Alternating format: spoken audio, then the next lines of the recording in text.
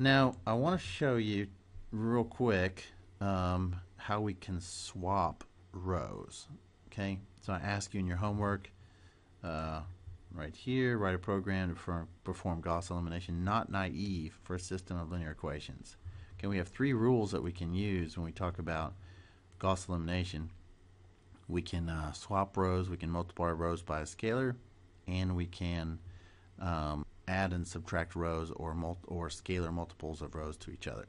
Now, uh, the reason we can swap rows here is because you know, say I have a system of linear equations that's uh, you know 2x1 plus 3x2 plus x3 is equal to 4 and I have x1 minus 2 x2 plus um, 3 x3 is equal to 2 and I have minus x1 minus x2 plus x3 is equal to minus 3 then this is my system of linear equations. I can put it in the form ax equals b okay where a is the coefficients okay. A is my coefficients you know of this matrix. 1 minus 2 3 minus 1 minus 1, 1. And my B matrix is these guys, right? So A is just going to be the coefficients. It's going to be 2, 3, 1. And then 1 minus 2, 3. And then minus 1, 1. Oh, sorry, minus 1, minus 1, and 1. Okay, so that's A. My X, my X vector is going to be X1, x2, and x3. And then my b vector is going to be 4, 2, minus 3. Now, the reason we can swap rows is because it doesn't really matter, right? If, if I write this expression first, or if I write this expression last. It makes no difference, right? Because the system of equations is still going to be the same. So if I, because my x1s, x2s, and x3s are going to be equal to 4, 2, and minus 3, okay, this is our system here, A, x equals B. It doesn't matter at all that I can swap this row. Of course, I got to swap the, the right-hand side too, um, and put it down here. Okay? Or if I swap this and this and you know put it up here. Now when we talk about swapping rows, remember we're talking about the matrix, the combined matrix, okay, where we augment it.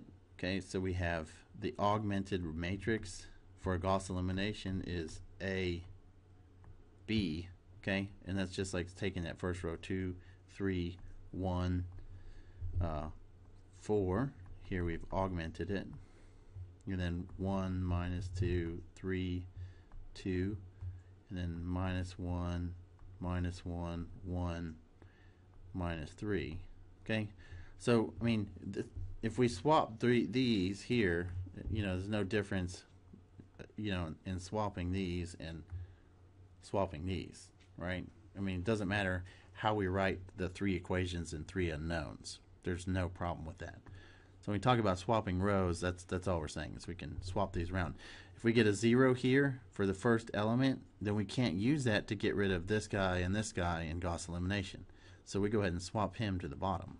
All right. So we should be able to take care of that in our programs as well. All right, so we're going to come back here to Octave and we are going to show you how you might swap a row.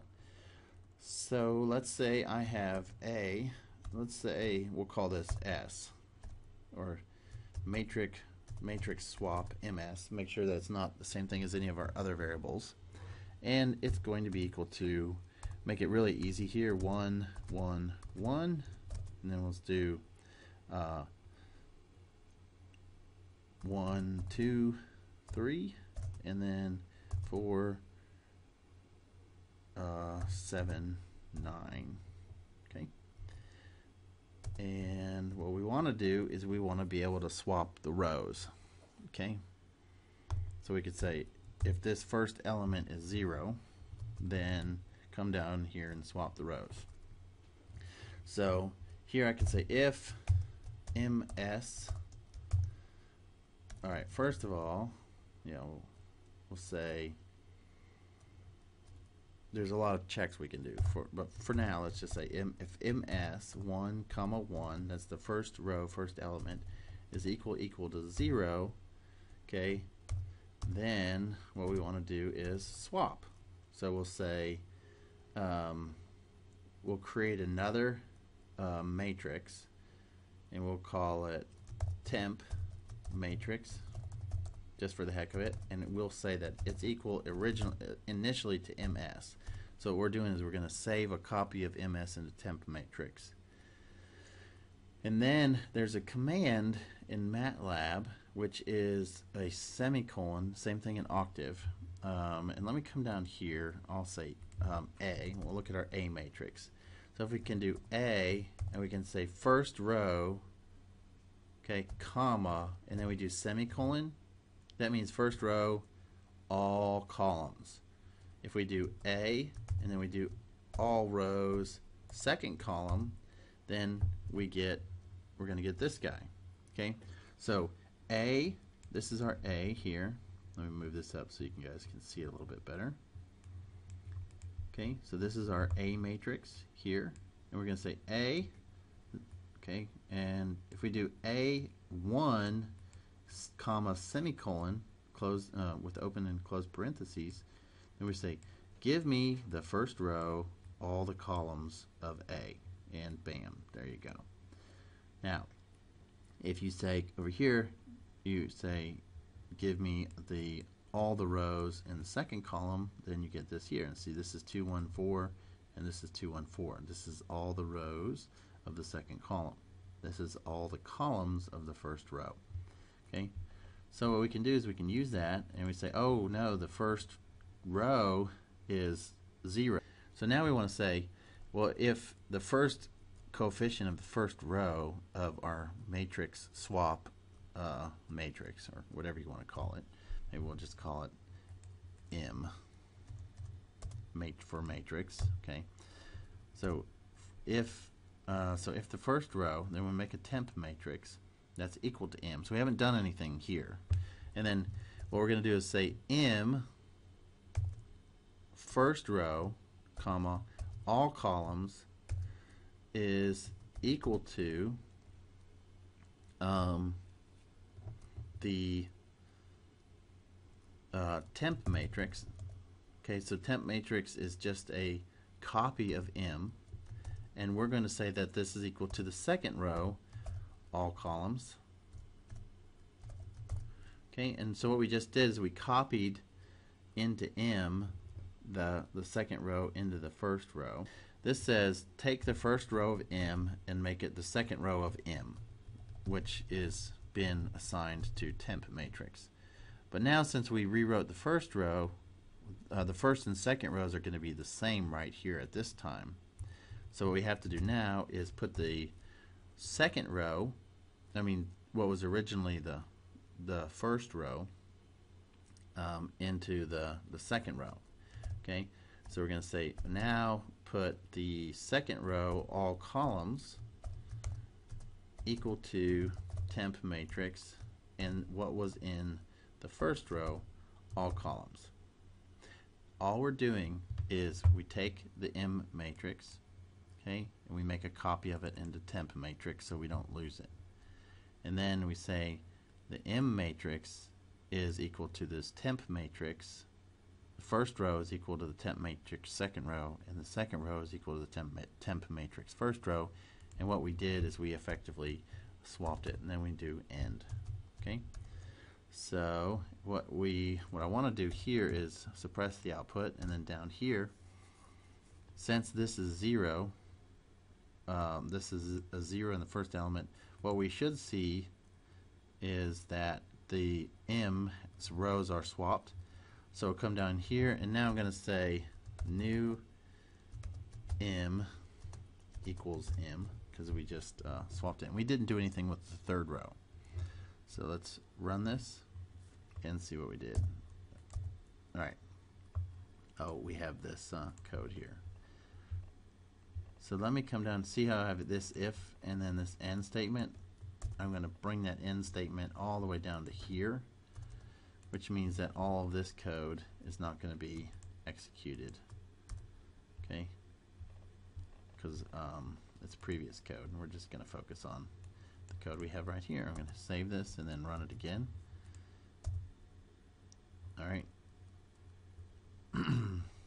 oh, this says MS. So we got to change that variable to what we have here. I'm going to run it again.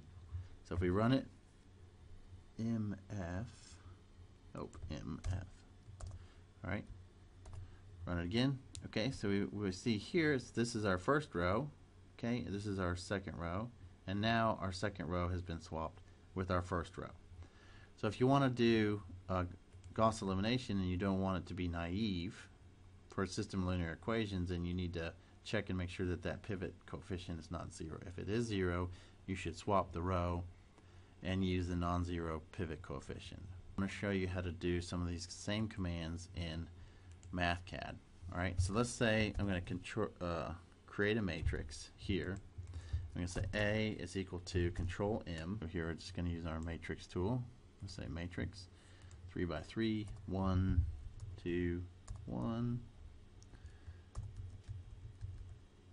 3, 4, 5, 1, minus 1, 2.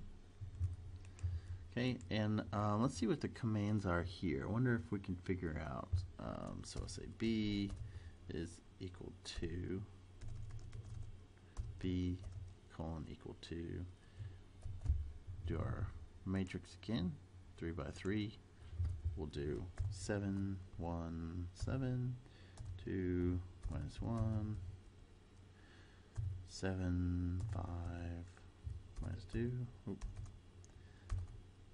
Minus 2 and all right all right so now let's take a look at uh, some matrix manipulation things in MathCAD. Now here what we want to do is we want to calculate the result and we're going to calculate it as a function. So we're going to say C is our function and it's going to be a function of A and B. Now I don't worry about the fact that this A is lowercase and this B is lowercase. This is just a way of defining an arbitrary function that takes two arguments. Okay, and we're going to say colon equal and we're going to come over here and do add line which gives us the programming, and we're going to put an if statement. Here we're going to give this a 0 if uh, the size of this A is not the size of B. So we'll say size of A. Okay, if the size of A is not equal to the size of B, okay, then we're going to return a 0. Okay, and then we're going to come down here, and we're going to say otherwise. We're going to add a line.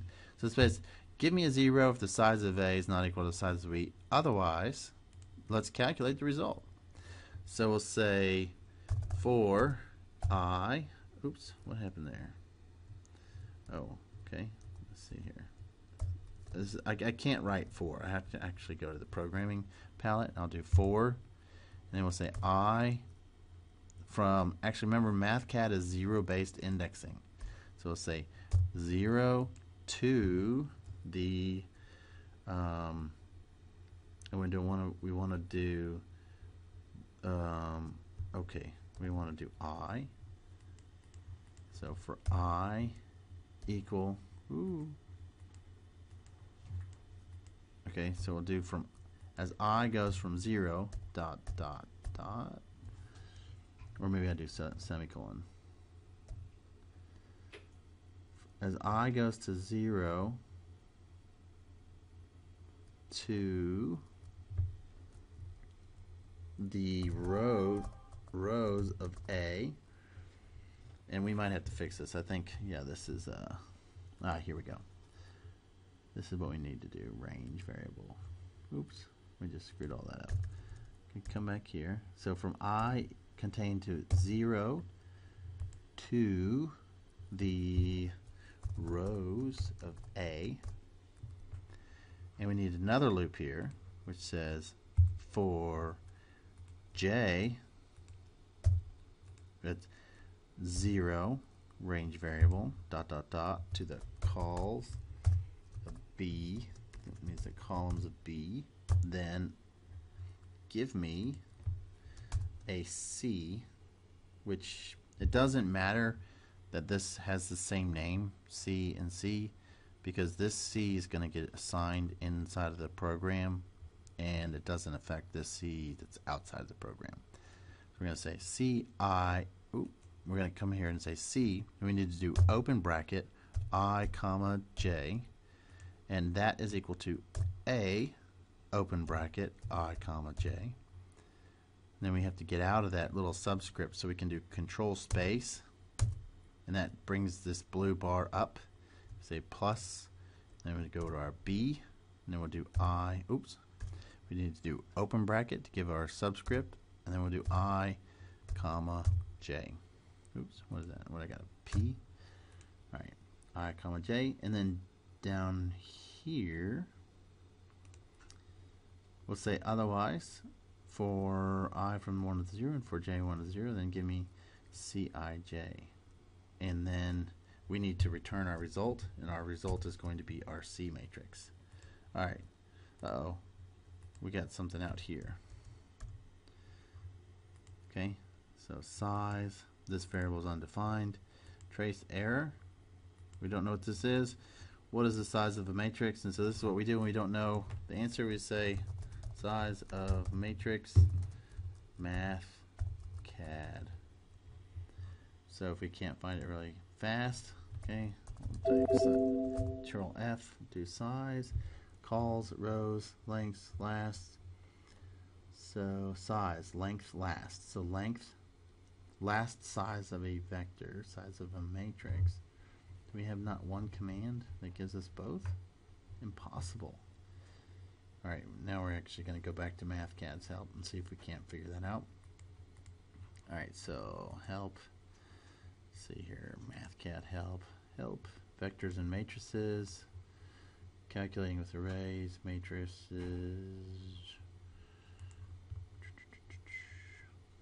vector and matrix functions. Okay this is the same thing that we just saw. So columns and rows has to be the size okay so what we have to do if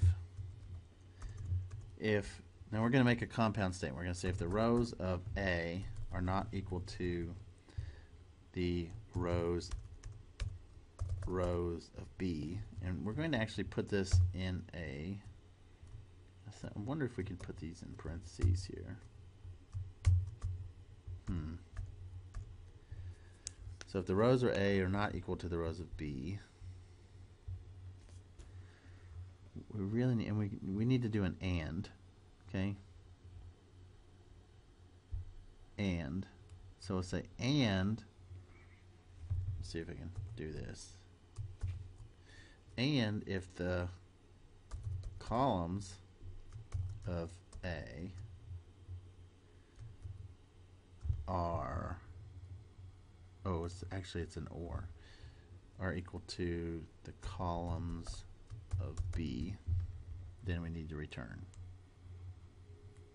Okay, this this this doesn't need to be an or.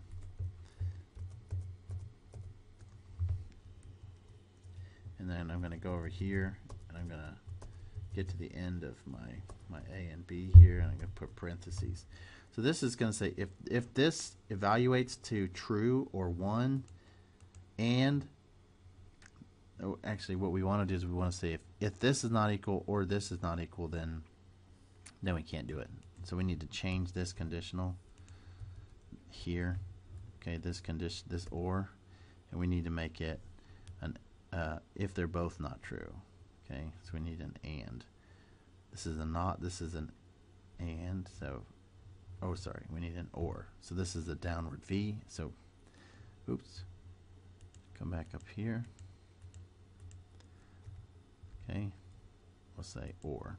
So this says if and I need to, uh, they, they got rid of my parentheses. Maybe they're not necessary. I want to put parentheses around this to make sure that this evaluates here. So we have this evaluation, and then here, I'm going to hit control space to highlight that whole line, and then I put parentheses there, control space, and parentheses here. So all I really have been doing is trying to get an if statement that says if the rows of A are not equal to the rows of B, or the columns of A are not equal to the columns of B, then they don't have the same size and we can't add them to each other. All right, so let's see if this will work. Okay, so we don't have any more red problems uh, here, and now we need to see if it actually works. So now I'm going to say C, and I want to pass in two matrices, A, comma, B, and then I want to hit my equal sign to evaluate. And it says these, this array index is invalid for this array. I don't know what that means. So I'm going to go and trace my error. Okay, I'm going to go to the previous. Okay, this this J. So it doesn't like this index for some reason. So maybe my J. Okay.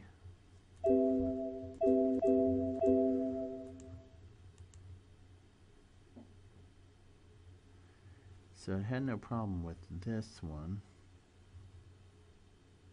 Hmm. Make sure that I enter this right. Can I do open bracket i comma j? And let's see. Doesn't like that. Hmm. The array index is invalid for this array. All right. So, see, we all have trouble sometimes. Now look, the rows of A is going to say 3. There's 3 rows of A, but our index can't go from 0 to 3.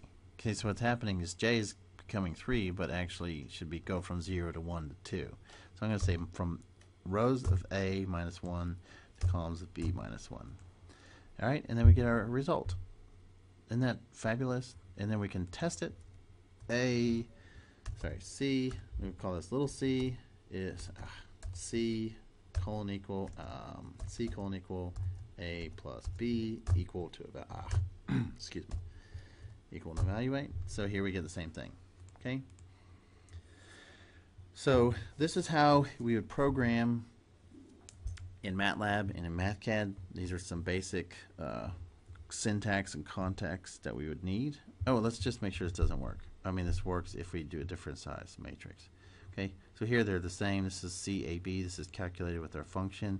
And the reason we had a little bit of trouble there is because um, we were going from 0 to the rows of A.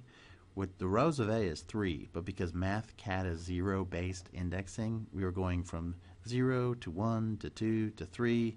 And MathCAD says, hey, wait a minute, you know, there's nothing there. You only have a 3 by 3 matrix, so you can't go to uh, A, A 0, 3 because you know you're out of bounds because this is zero-based indexing. To fix that, we just said for i equals 0 to the rows of a minus 1. So that means it's going to go from 0 to 1 to 2. All right, and let's just make sure that this works. if we kill this guy, this matrix here, and we put in a 4 by 4, okay, or 3 by 4, or whatever, Okay, we put him in, let's say, you know, one, two, one, two, three, three, three, three, minus one, zero, three, nine, and we'll get an error.